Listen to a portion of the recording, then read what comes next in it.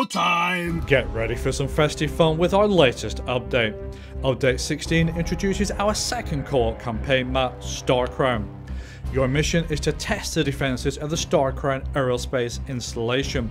You must infiltrate through one of four entry points, work your way through the multi-layer security, enter the secret projects area and then exfiltrate with the captured data. It's time to give multiplayer some love with our new winter theme map Dynacore. Built in the Astrodome framework, Dynacore is a constantly shifting urban landscape. We hugely improved hit detection with our new What You Shoot is What You Kill system. Knock knock!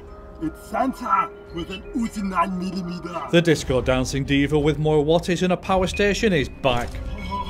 Every time the gold terminator dies, a new gift is spawned. The first player to touch the box becomes the golden god of domination. And finally, thank you for an amazing 2014. We fulfilled our promise to bring old school co-op back with co-op on Stronghold, Operations, Nucleus, Colony, Mainline, Starcrown and the map that started it all, the Neurogen incident. Thank you for your support which has allowed us to do this for the love of the game.